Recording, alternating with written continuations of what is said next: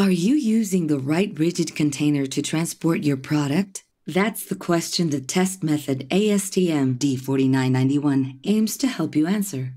This concern is shared by major organizations like the International Civil Aviation Organization and the United Nations, especially when it comes to the transportation of dangerous goods. But even if your product isn't hazardous, improper packaging could lead to shipment rejection at its destination due to liquid spillage. That's why validating containers and packaging filling processes for air transport is essential.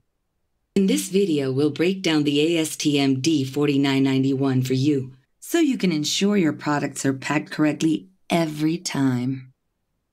Did you know that normal water evaporates at 100 degrees Celsius at sea level, but under minus 980 millibar of vacuum, the boiling point is reduced to about 26 degrees Celsius. At this point, at room temperature, air bubbles will appear, making it difficult to spot a leak during any submersion test. This is why the ASTM D4991 recommends using a solution of 50% ethylene glycol in water. Because this mixture is less likely to form bubbles at high vacuum levels, improving the accuracy and consistency of the test results compared to using water alone.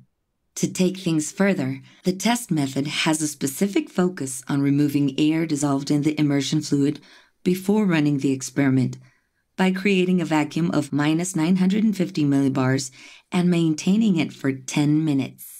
Empty samples have to be prepared with the same conditions as the production process. Immerse the test specimens in an ethylene glycol water solution and remove any bubbles from the outer surface. At least three products have to be tested at the same time. Then seal the test chamber and apply a vacuum of minus 950 millibars for at least 10 minutes or 30 minutes for plastic materials.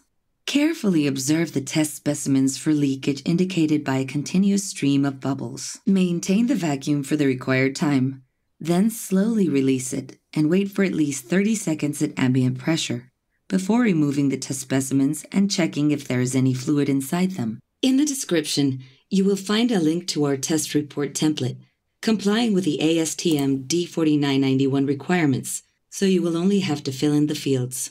Refer to our video on the ASTM D3078 for testing flexible packaging. But wait, give us a thumbs up and don't forget to subscribe. DVACI, Package Leak Testing Instruments.